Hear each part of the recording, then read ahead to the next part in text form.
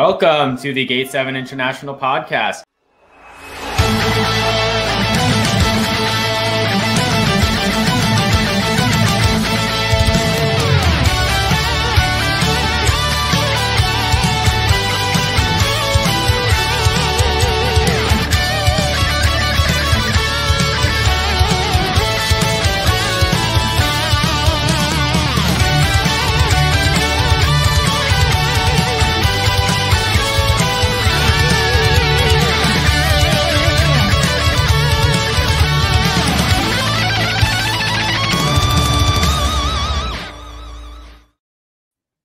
What's happening, everybody? This is Adi Gate 7 International. We are super excited to be here today. Rolling solo after the game against Aris.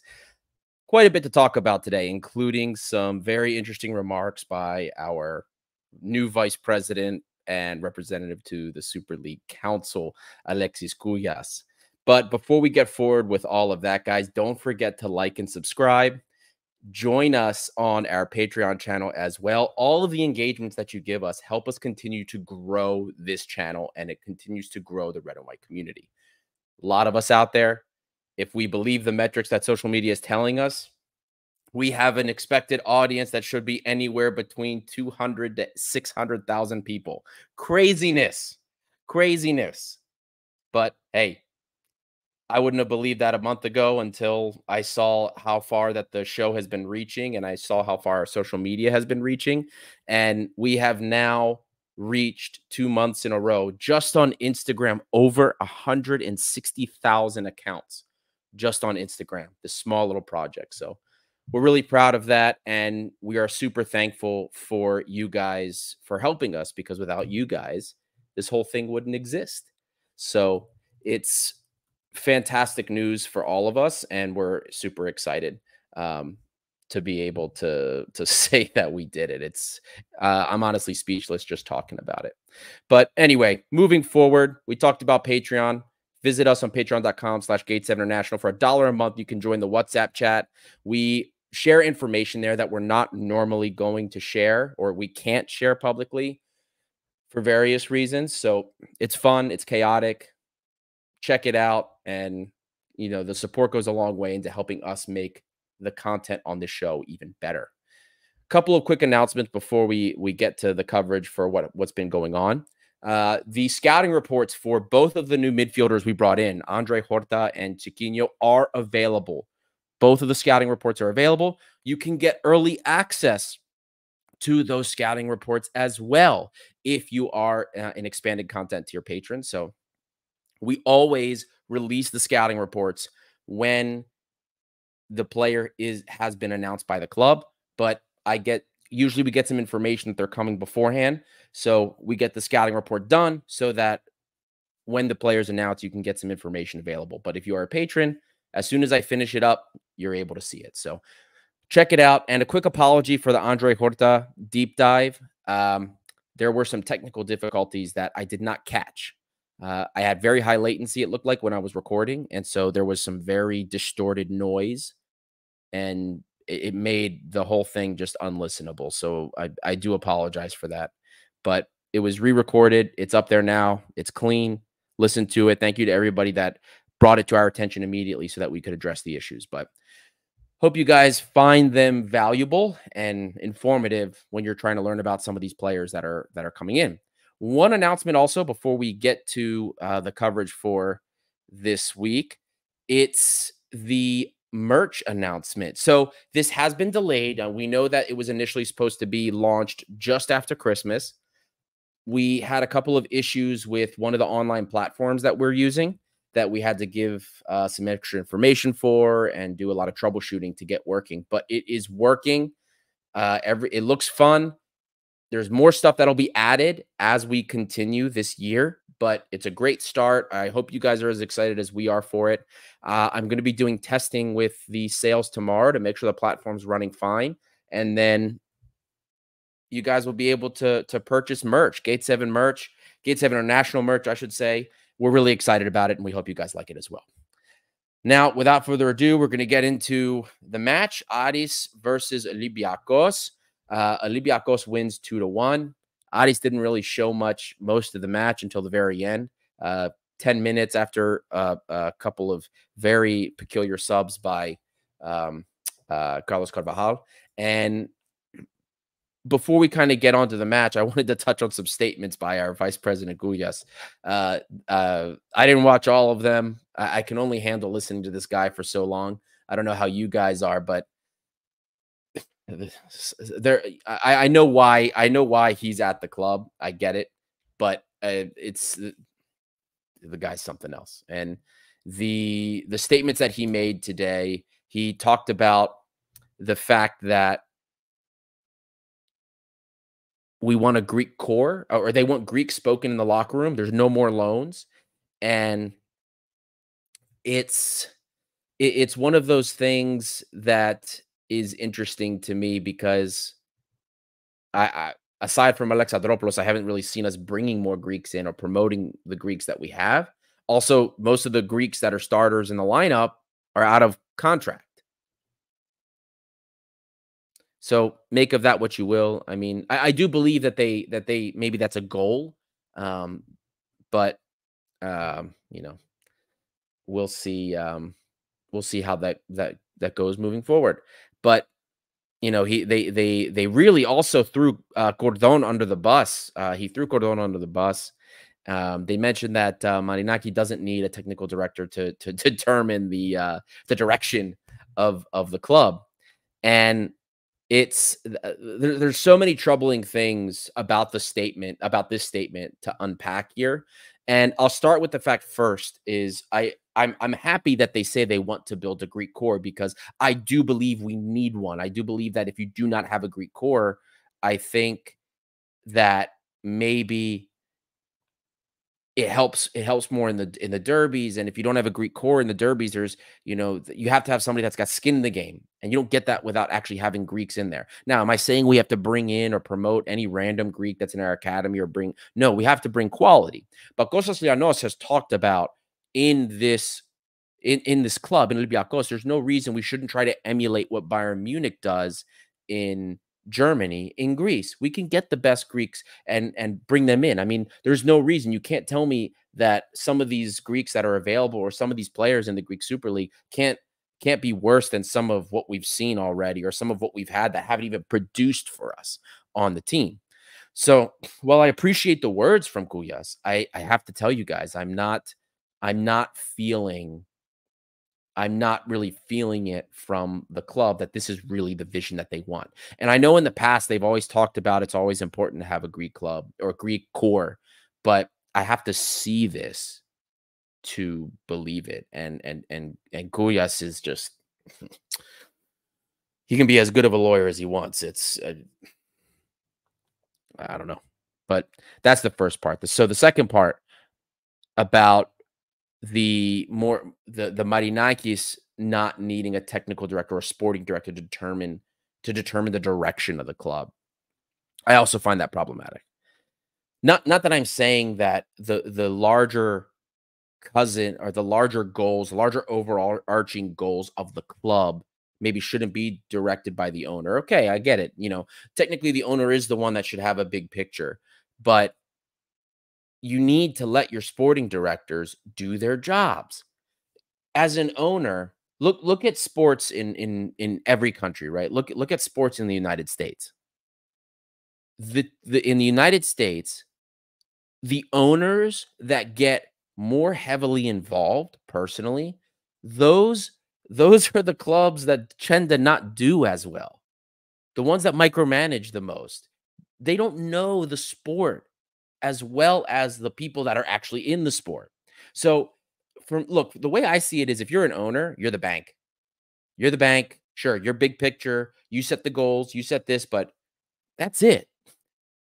Unless things are going tits up, you should not be involved in the day to day. Let the sporting director do his job. You let the general director do their job. You let the football people that you put in place do their job. And quite frankly, you know, Vangelis Marinakis is so many things going on. He shouldn't be involved anyway. He doesn't have the time. You do you you put somebody in charge, they don't meet the goals that you set from the beginning of the season, boom. we're not we're not going to talk again about how we have no patience for projects and whatever. But I mean, the, some of these statements today were just absurd, absurd, and and then throwing Cordon under the bus. I mean, you know, here we're hearing about how oh, Mighty Nike has faith in Cordon. He's making him this global director. If he's getting thrown under the bus by a guy who's clearly speaking and writing a prepared statement that that tells me otherwise. Cordon has no. I, I don't believe that he's going to be a global director anymore. I don't think that's the case. But anyway, make of that what you will. The the statements are the statements. It is what it is. Uh, transfer mayhem is going on at Olympiacos, and we're gonna get into the nitty gritty of the post match. But I gave you guys so far, you have four scouting reports already. Some of you have already been commenting about them, and more stuff, more are coming. More center backs. We're expecting center backs. We never got a six. We signed two eights with 10 like tendencies ish. No six. Looks like we have Carmo. Somebody was joking about Carmo not coming. So one of my uh one of my scouting reports that right now Patreon, the Patreon community can see, is probably not going to be uh relevant. But Gaston Hernandez, and it's anyway. Lot lot going on. They're going to keep me busy, but I'll get those scouting reports for you guys, whoever signed, and we'll continue to move forward with those. Uh, before we get to the nitty gritty of the post match, I'm going to see check out some of the comments here because comment section has already been popping up as it always does. Yorgos Muzanos, good evening, guys. Decent performance. Hope the team will only improve with the following signings. Honestly, I think I think it will. I think especially with a couple of them. We saw Gelson today. Guys, Gelson is this is what it's we haven't had a real winger in so long. We forgot what it looked like. That's what it looks like. Imagine when he's match fit. Imagine when he's match fit. Mike Scob, patron, thank you so much, my friend, for being a part of the Patreon community. Poor Adi, maybe Carmo is off. Yeah, well, at least you guys got to enjoy the scouting report while it lasted. Aris Galamantis, who is Sotiri? Sorry, I was rushing right before the, the opener ended for the poll. Vote in the poll for who your man of the match was. We did it on socials already, and it's pretty clear that the fans believe it's Rodinei so far, but you know, vote in it. Sotiri is supposed to be Alexandropoulos, who also I thought had a great game today. Lakis Gavalas, Koulias is an embarrassment to the club and speaks to the ownership's vision. Laki is never never blunt, or I should say, never beats around the bush. He's very blunt. I like it. I like it. Aris Galamatis Kuya should have left yesterday. We don't need another Alafouzos like Brat. We have suffered many already. You guys, you guys have points. You guys have points there. Yorgos Moutzanos again. Paschalakis, Retsos, Alexandropoulos, Masouras, Fortounis all seem to be starters. Doi as well. Tsolakis. And the majority of them will not be here in the summer as things stand, except for Retsos. Retsos is the only one who has a contract. And Doi, and Doi as well, sorry. But Paschalakis, contract's up this summer. From what we've heard, there's been no movement on renewal. Him and Tsolakis. Tsolakis got a new agent. Doesn't look like they're renewing. I hope, I hope it something changes, but it, right now, the way it stands, it looks like we're losing both of them. Retsos long he he's they renewed him already signing or he they bought him out at the beginning of the summer so he's got a longer term deal he's not going anywhere. Alexandropoulos loan. We're not paying 4 million for him. I think he needs to stay i think we can get him for 2 i don't think that that's a big ask i don't think sporting would give us a problem but this kid plays with more passion than half the roster Masouras, guys, we're, we've talked ad nauseum about Masouras. We know what he has. We know what he doesn't. That's it. Got to renew him. Fortounis, there's a lot of people that do want him, a lot of that don't want him. We'll get it. We'll we'll talk about that later. But this is uh, the situation that we find ourselves in right now with the club. It it you know, fortunately, it is what it is. But the if that's a Greek that's a Greek core, and if we want to keep them, we have to renew them.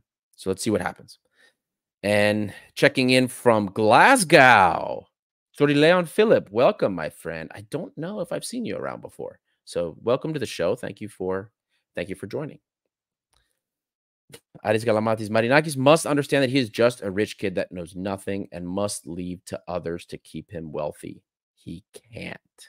Well, i am going to be honest with you. If he was, if the goal was to make money, and that's why he was owning Olympiacos, he's got things that will make money way faster. This is uh, football clubs, especially in Greece, are horrible investments depending depending on the situation. In this case, there's different reasons for owning Olympiacos. Some are political, some are otherwise.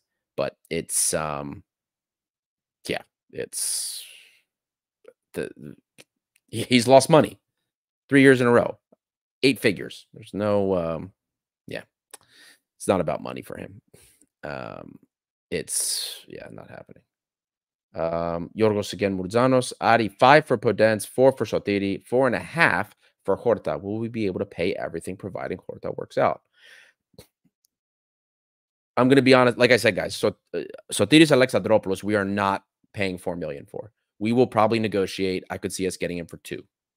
I don't think that's unreasonable. Podence, I I see us buying him, but it's not to keep him. He will get sold if we do buy him. There's no way he stays here beyond a year. No way. I mean, and the way he's playing right now, I doubt we get an offer, but that's not happening. There's we're not buying out Daniel Podence's contract unless there is an offer for him. I'm telling you that right now. Now, Horta, different story. If he if he does what I think he can do, and you watch the scouting report, 100% that's a player that we buy, and you don't even negotiate. You do it if he if if he turns out like I think he will. So uh, and I think that's a pretty good probability. Uh, I made a very bold claim. Um, I made a very bold claim in the scouting report regarding Andre Horta, and I don't do those very often. Not since Inbeom Hwang, not since Rodinei, but I I'm really excited about that guy. So anyway, but that's uh that's how I see that. Uh, we have uh, Lakis Gavalas. Why would a player like Horta, let alone Carmo or Al Musrati want to play for Olympiacos. Even if they think Carvalhal is the best coach ever, don't they know he could be fired on a whim? They do, Lucky, but you have to remember there's other things that are offered to these players. Nike owns three clubs. Well, as of June, he'll own three clubs. when there's no Champions League to offer somebody or the no promise of Champions League, what is the other thing he can offer them? he can offer them a chance at Premier League, whether or not it actually works out. It wouldn't be the first or the last time that a player was promised something and he doesn't get it. But that's that's how um, it's that's how it is. So um, that and and and the and right now we can't we can't guarantee anybody Champions League. We can barely guarantee Europa League, and we're sure, certainly not guaranteeing Champions League to anybody because we're not winning the league this year, or at least I, I, don't see it that way. There, there's better teams in Greece right now than us, or at least more consistent. PAOK for sure. PAOK is. Uh, I don't think. I, I don't see who's going to beat them. They they look unstoppable. I had thought when they lost against Aris, they would they, you know that would sputter them a little bit because of because of the young guys. They have so many young guys on the team, but no way. They they look too strong. Even though I think Aris or sorry, AEK, I think AEK is a better offensive team. They just can't finish. But PAOK is as far as teams goes, like which team right now is the most balanced and perfect, it's it's PAOK. And they're a surprise. A surprise to everybody. Um, Aris Galamatis, your report ended up with Horta being a little better than Mari, or am I wrong? No, Chiquinho was a little better than Mari. Horta is distribution wise on another planet. And that's saying something because Mari's really good, even on an off day. So anyway, and it's uh Horta in particular. That's that's the signing so far for the winter for me. That's the guy. That's the guy that I think will give us the goods. Anyway, we'll we'll get back to the comments in a little bit. Let's go. Let's talk about the match a little bit. So, um, we were a little surprised at the lineup that came out. Right, the starting eleven came out. There was no Fortuny, no Podence, no Mady. three of arguably your best or most talented players, which surprised a lot of us. And I know there were a lot of people like, "Oh my goodness, what are we going to see here?" What the you know, without Fortuny, without Podence, as flawed as they are, especially defensively, what are we going to expect? Like, what what can we do? what are we going to be able to do when we've looked so garbage in so many of these derbies and we had one win so far in the new year? Carvalhal just looks clueless. He can't make changes. What are we going to see? So it's it was interesting to me that we came out and we did as well as we did. But we also have to remember here, you know, in that first half, first of all, we were running all over the place. Kids like Alexandropoulos, Rodinei, they were all up and down, all over the place. Even, I will even say, even Carvalho, I was impressed. He was linking up and distributing the ball very well. As much as we like to trash him, um, the last like week and a half, couple weeks, Carvalho is is is doing is is doing pretty well. So you know, and if you're playing, if somebody's playing well and they're in form, you keep playing them. You ride the hot hand. That's a saying that we have here in the United States when it comes to American football. You ride the hot hand. So it worked out. Now, one thing that helped us, Aris looked dead. I mean, for 80 minutes, it was 75 minutes. They they didn't look like a team that was that came that was ready to play. They looked like they were still recovering from the Kypello game that they had, which was tough. I mean, they played uh, just like us.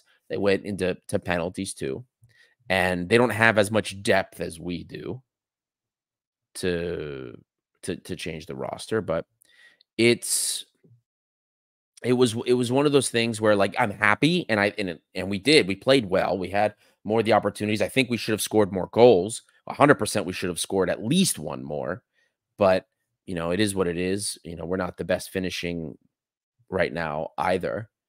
But I, I will take the fa- the fact that we won and we looked good. But I'm not. It's not lost on me that Aris were terrible, and they they were just clearly clearly not fully recovered from the Kypello. I mean, I think I there's just no way you can convince me of that. They looked awful especially the first 30 minutes, I'm I'm willing to bet you guys that the PPDA, the passes allowed per defensive action was like 20 or 25. They were hardly pressing. So we'll see. We'll see how it goes. But I'm, at the very least, this was a great confidence boost for us. And I hope that this carries forward. We have, uh, I believe it's PAS next on the schedule. And then after Giannina, it is Panathinaikos. So with the with the Greek Cup done, or our, you know, we're out of the Greek Cup now. We we don't have a match this week. There's no midweek game. And I and it's Sunday, which would be uh, you know, the game against PAS Another game that we should win. PAS is not really doing well. They're they're they're with Kifisia right now in terms of relegation candidates, sitting there second bottom on the table. So we should be able to do something there. And if we don't, if we don't get a convincing victory there, that spells trouble for something else. But we take the win today in stride and we use it to build. We've got a week to recover, week to work on things. We have some new new guys that are in here. Gelson Martins, it's another week that he can, you know, hopefully start again. He can continue to build. Hopefully Horta and Chiquinho come in and and they have some match fitness, or at the very least Horta does. And you know, we have something because Carvalhal with, uh, without the changes, there there's not much we we know there's not much you can do with the, with the current talent. There's been rumors about Mady leaving. We talked about the story that came out, the interview that he that Mady then later quashed. There's been all sorts of talk with Pep Biel. You know, in, in Greek media, there was talk about, or not Greek media, sorry, in Portuguese media, there was talk that he had a uh, a disagreement with with Carvalhal. That turned out to not be the case. And then and then in, in Greek news, there was talk about Russian interest, which Pep later disclosed to us that you know that was nonsense, or uh, the term that he used was quote unquote funny bullshit, which was was is what he told us. So a lot of stuff going on. There's going to be lots of ins and outs. And as much as Carvalhal frustrates all of us, you got to get the players that he wants in first we it's very clear that he can't do better than Diego Martinez, at least with what's already here. So we have to evaluate him once he gets the guys he wants. Once they come in, then we have then we can evaluate more and see what he can do, especially in real competition that can play, and that's going to play at least more than what we saw from the the the near dead bodies that Aris were today. But that's a different story. I want to talk to you guys a little bit about our about our tactics here and there's a question here that I'm going to use as the segue into that from Aris Kalamatis. Where is the defensive strengthening? First of all, tactically, have four defenders on the same line for once this season, as well as someone in the midfield to help them. So Aris actually the it's funny you bring that up because I don't know how many of you guys actually noticed this, but um, we're we are seeing kind of something that uh, Pedro Martins did once in a while when he was here, third, end of third, or actually no, beginning of the third, and then fourth season, he would do this as well, where we transition from this four two three one or four three three with Alexandropoulos able to get forward, um, and we go into a four four two. Carvalhal is a mid block. That is it every game it's been mid block mid block mid block that's it. There's no intensity in the press. He does not care. At best he will elevate the defensive line the back four he'll push them up and that's it. Rodinei has space to get forward. Ortega's given space to get forward when they have the ball but you you saw today like Quini I mean Quini's not going to do that. Quini's defensive fullback so he he stays there. But when we would lose the ball or in transition we would see Aris get the ball. What shape were you guys seeing? 4 4 2. Now, when he first got here, especially when against Bachka and even against Panserraikos, it would go into a back five. Podence would drop very deep in most of those cases. But this time we were 4 4 2. In the 4 4 2, you see Alexandropoulos running forward. The wingers drop to be more level with Santiago mm-hmm. Hezze and with Carvalho. Now, Santiago Hezze's role has been the same as it's been almost all year. He sits in front of the defensive line, or he's the one in the shift that will sit and cover from the defensive line, which is is what he normally does. But the concern is this guy Carvalhal was supposed to focus on our, our defensive issues, and it it didn't look like it really did much. And and to be fair, the link between the midfield and the defense is really where the problem becomes. You know, today I thought it wasn't so bad. I mean, Aris until the very end, they I don't think they had a shot in the first half. If they did, it was it was one of those shots that maybe got blocked by a defender, but I don't remember anything. I don't even remember them getting anything on shot for like 80 minutes or on target at least. And and that means that the defense is doing a, a pretty good job of closing those things down. So now, the Quini own goal was a bit of a travesty. So, but that's a personal mistake. I don't think that's as much of a tactical mistake. But part of the reason we've been talking about the the whole proposition of getting a number six in here is because that will bridge the link between the midfield and the defense. Defensively, we're talking about, and we've all talked about this. Santi Santiago Hezze is not a six, uh, a traditional six at least. And I know I brought this up when the player first came in that he's not physical. And, but the, what he does do is it, the, the guy is pretty tactically astute behind the ball. There's a reason he's leading our team in interceptions uh, it, it, overall and per 90 minutes. It's Santiago Hezze. He, he does know what he's doing. But if you're going to have your six, quote unquote, or your more defensive guy sitting in front of the back line, be the defensive guy, you have to you have to balance that out with somebody that will be aggressive. And if Santi is going to occupy that role and not be an aggressive, like real six that we need, your eight has to do it. And in in good days, when when Mady was on his game, like like you saw in, against West Ham, that can be Mady or it could be Alexandropoulos even. But Mady's 50% all year. And the guys that we bring in we we also need we we also need them to be able to do that. And both of these eights that we brought in, Chiquinho and Horta, are pretty aggressive, at least to at, at least at least on the the the ground dueling side of things, closing people down. And um as long as the team is moving a lot and you have people that are able to cover for each other, it's not a problem. Um, there's there's a point that can be made about about getting exposed when our fullbacks get forward. So there's a, a nice comment here from uh, Yorgos Moutzanos. The goal we conceded comes from Rodinei being too much forward after a set piece, and then Biancone left his position to cover him, and Quini scored. And th- this is the this is the inherent risk when you have these, especially modern football, when we use our fullback so much. And Carvalhal uses his fullbacks. This is the inherent risk, which is why you have to make sure you have the proper cover for that. And there's an, another comment here that is very important, actually, for Lakis Gavalas just made. Remember how much people used to complain when Bouchalakis passed the ball mostly backwards. They should have broken their TVs watching Santiago Hezze then.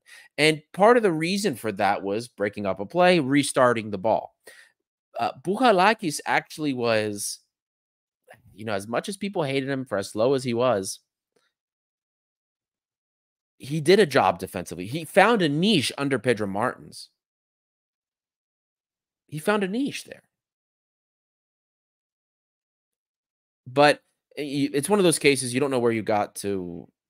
You don't know what you have till it's gone. And Bouchalakis wasn't super special uh, in that respect. He wasn't like a great playmaker, but he could distribute the ball and he did a pretty good job of covering the defensive line, which is why every coach used him for that. Look, it is, it is, it is what it is. The the thing about Hezze is, look, he's young, man. He's young and he's got so much to that he can build on and improve on. I mean, and he has capability. I mean, he had a, a lovely ball in the first half. Uh, one time, one time played the ball straight forward. I mean, it was lovely. Um, so you know, we'll we'll see we'll see how that develops and how that goes forward. But I think I really, I think that in the long term, I think we're going to see a lot more out of Hezze.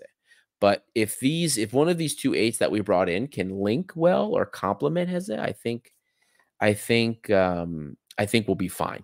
In that case, we wouldn't need a traditional six because then the the eights that we have will have some, you know, they'll be they'll be able to take on both those roles, be a little bit more aggressive while still being decent in terms of the offensive end. And then Hezze can do what he does best.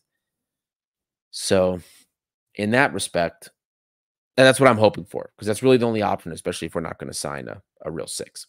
We still do have problems on the defensive end. Retsos is.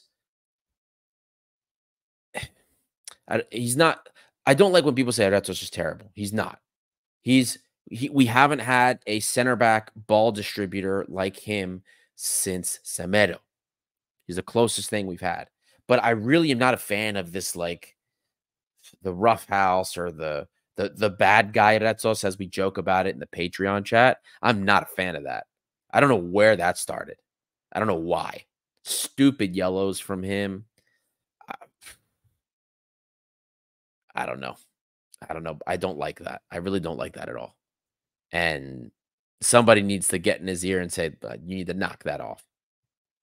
Because that's this Ba characteristic that he's developing is is not helpful and it'll end up it's going to end up leading to more mistakes that could end up costing us because of him. So i am really really not a fan of that but but Retsos in, in on a whole Retsos is fine for us this year. Like you guys realize, remember going into the season, like we talked about, like why why did we sign Retsos? He's just going to get hurt.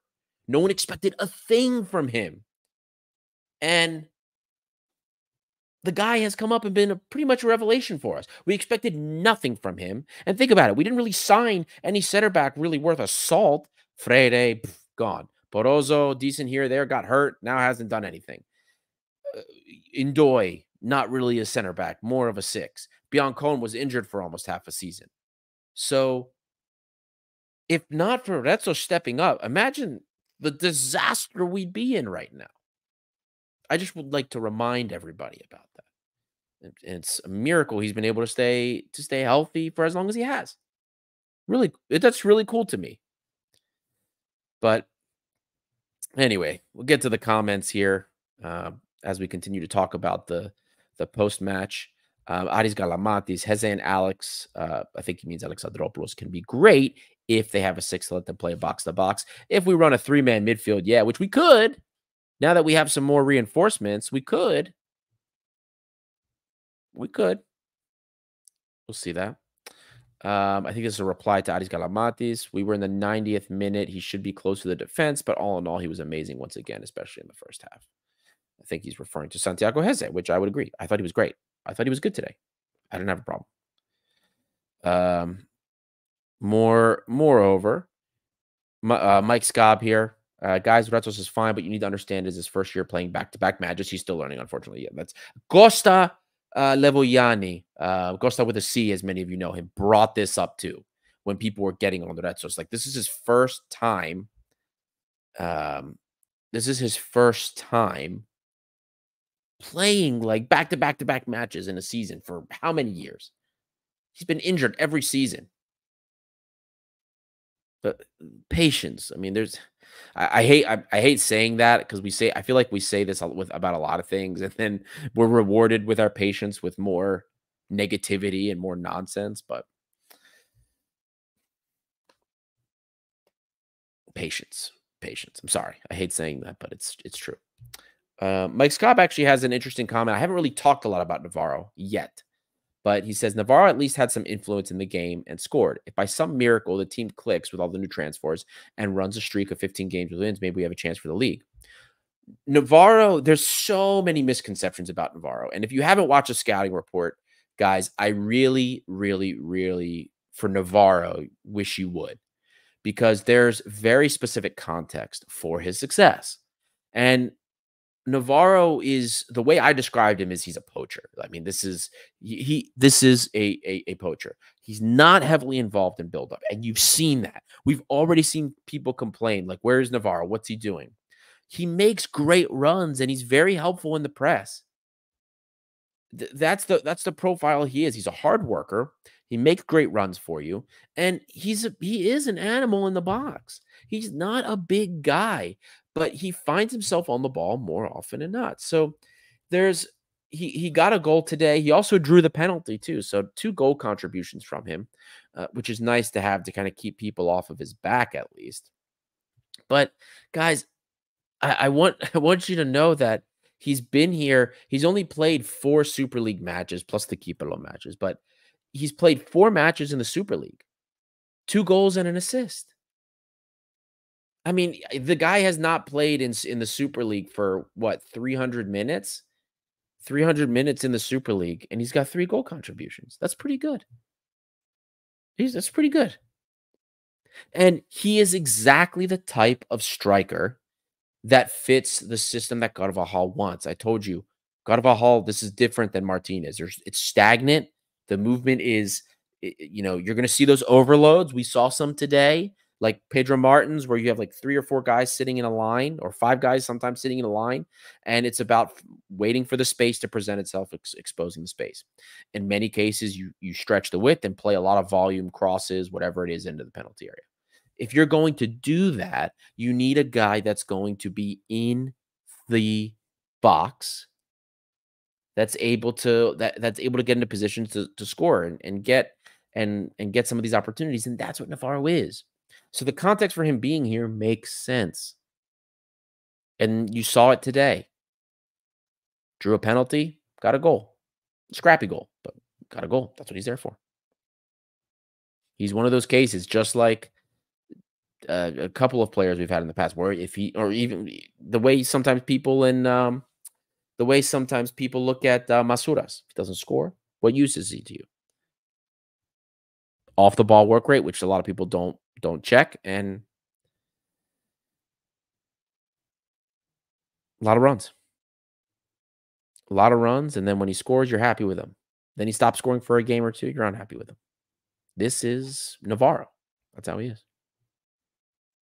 But all in all, again, glad to glad to see glad to see him um, doing well. Glad to see him actually uh, getting those today because Otherwise, this was this was. I didn't even think media was getting upset with him in Greek media. I can't, I, can't anymore with them. Uh, I, I've been I've had it up to here with with Greek media. It's there. I mean, I have to read it so that I know what they're talking about. but but it's uh, it starts my day sometimes with with the biggest migraine right here. It's like right here. This is my this is the Greek media. It's the same pain sometimes that my kids give me. I call it the Greek media migraine. So anyway, I think we have a uh, a Panathinaikos fan here. Hassan Rana. Panathinaikos will win the league easy.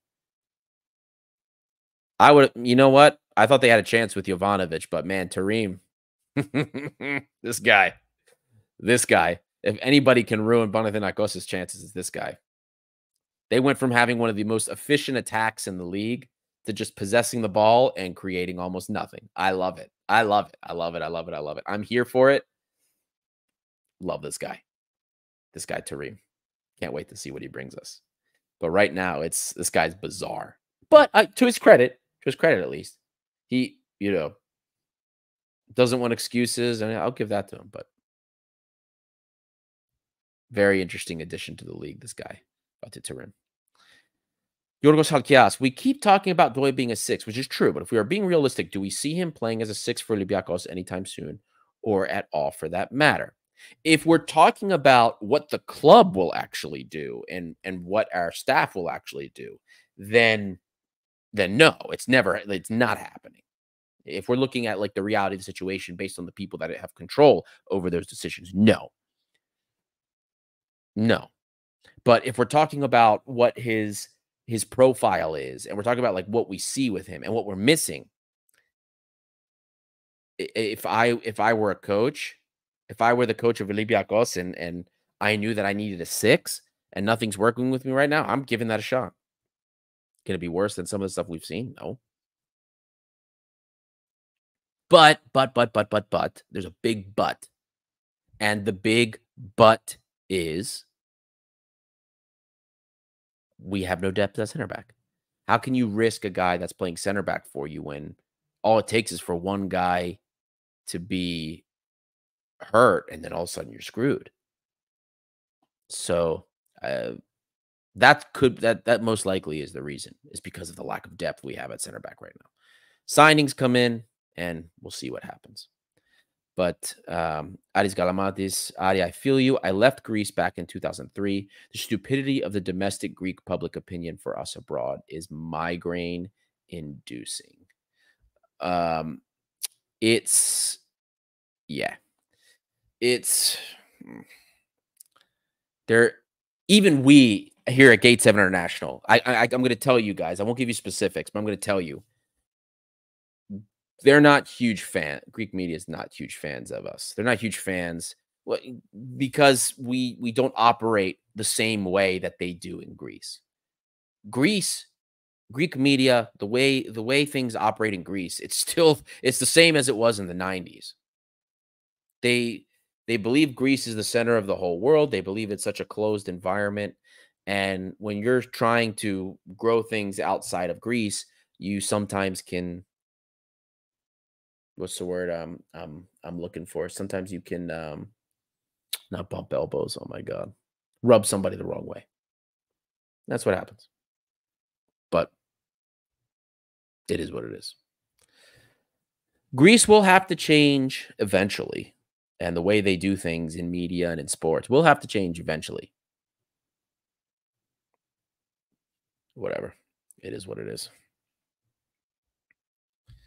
Um, you know what? This is one thing I didn't touch on about the press conference. You're right. Thank you, uh, OOO, for commenting. This Guya said we should apalagume of Martins' crime. Somebody should tell him he has nothing in front of Martins to speak like that publicly. Yeah. The look, guys, I don't um I don't want you I I I don't want you guys to look at that statement and even even though it was definitely directed at like Cordon and definitely directed at certain individuals. It the, the statement was clearly to kind of um, deflect pressure from them. That's what that whole statement was about. So I wouldn't I wouldn't read into that. I wouldn't read into that beyond that. Look, I mean, I I, I don't disagree with you. I think I think Pedro Martins does deserve uh, a little bit more respect, but at the same time, Pedro Martins did make mistakes he did make mistakes, which is what led to his downfall. So, and it, it's what led to the decline of the team in his tenure because he had a complete shift in his operations and and how and how he did things. COVID changed Pedro Martins. Period. He became more. Uh, Costa likes to say pessimistic. I like to say more conservative.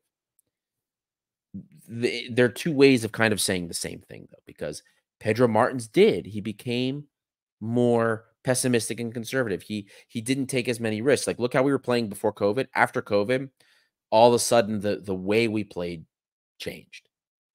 Less offensive, more moderate.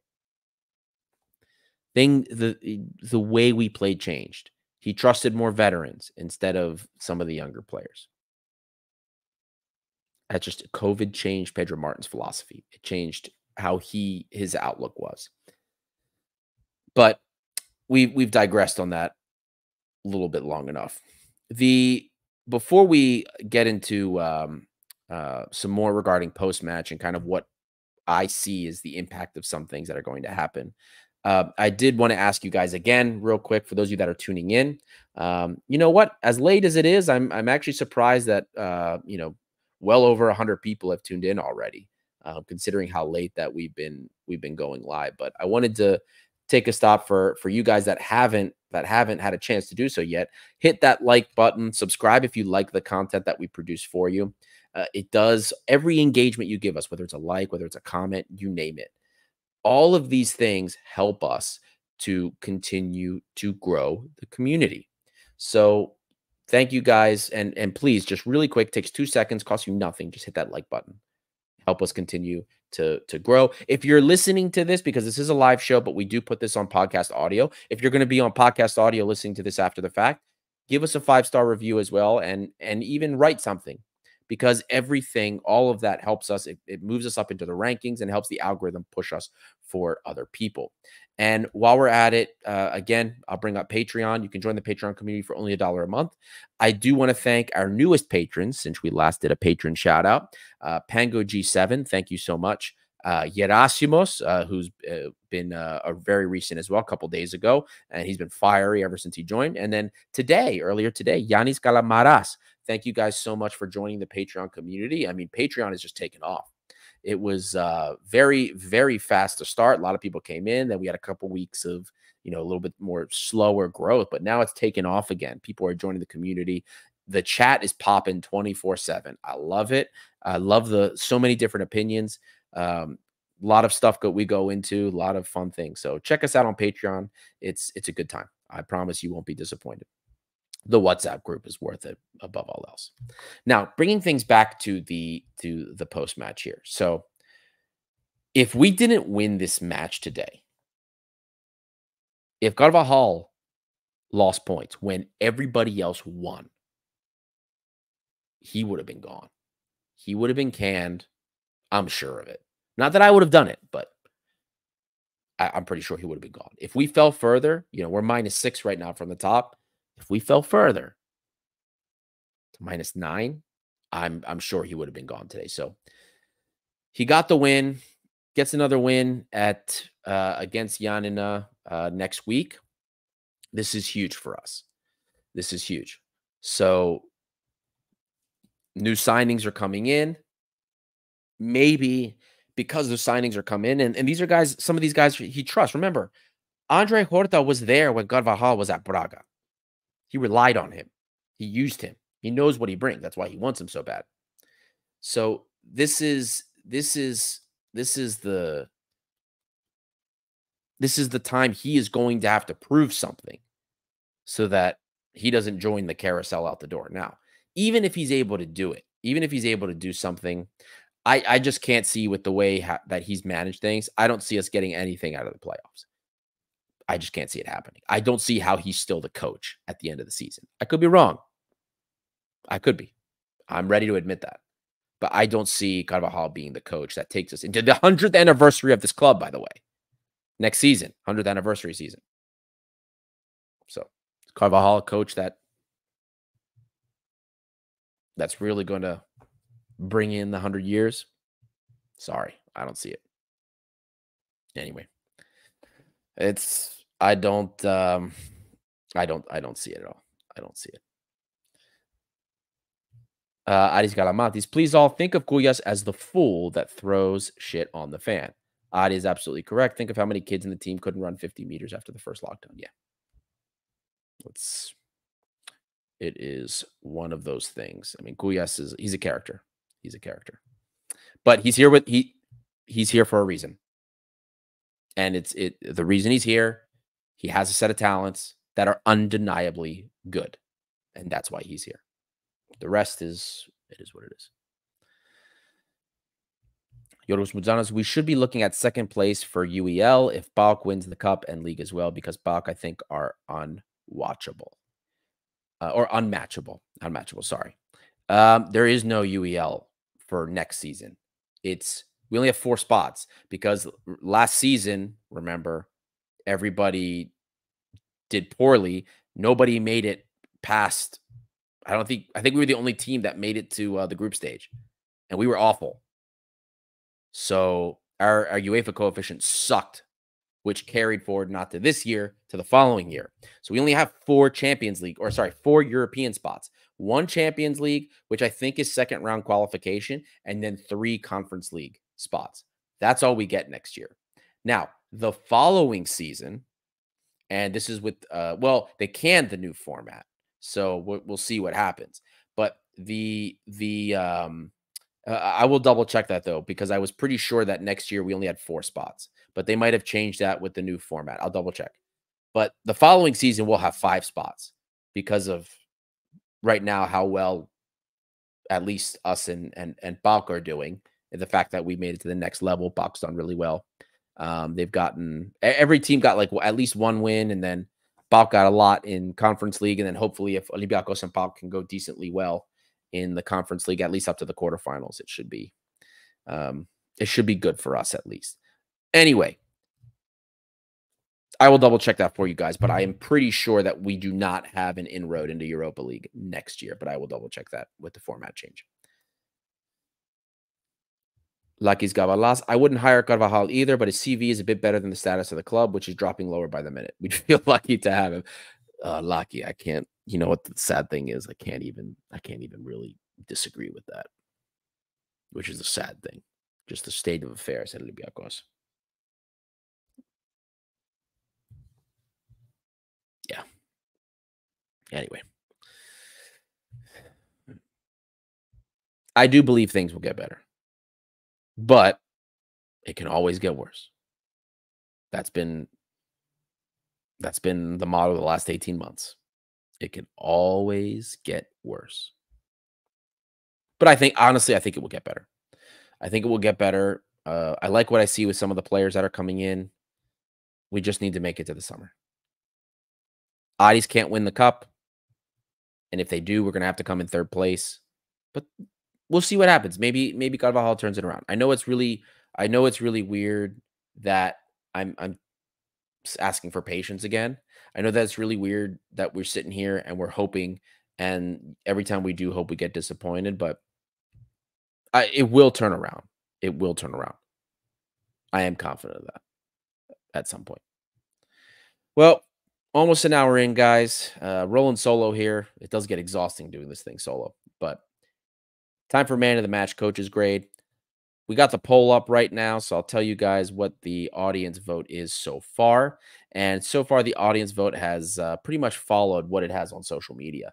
Um, the 51% of you have so far voted for Rodinei, and uh, 8% for Fran Navarro, 18% for Gelson and Gelson Martins, and then 22% for Sotiris Alexandropoulos the polls that we've done on both Instagram and Twitter so far, by far on Twitter, Rodinei is the is is the is the favorite. Seventy three percent uh, of the votes have gone to Rodinei there, and then looking on Instagram right now, uh, pull up the poll here.